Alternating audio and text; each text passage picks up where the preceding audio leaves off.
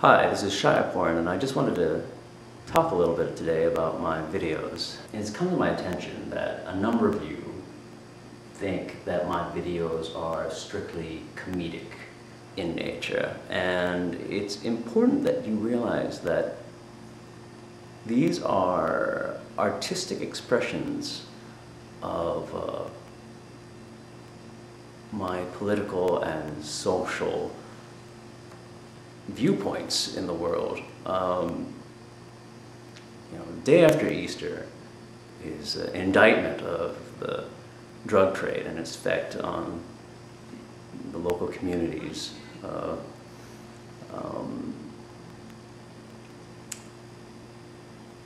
the samurai video, some of you think that was some sort of homage to a 70s and 80s cartoon, but it, it, it's, it's, it's a vilification of the outsourcing of jobs to third world countries. Um, and Some Kings Can Fly is uh, clearly a treatise on the global warming epidemic. Uh, I don't know what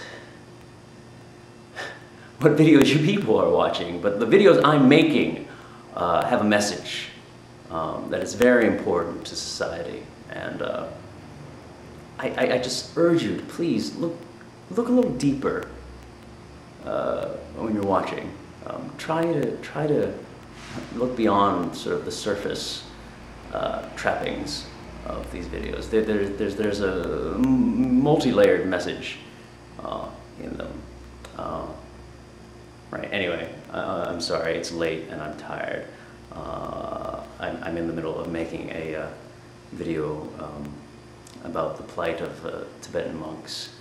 Uh, so I'm going to get back to that now, and um, please keep watching.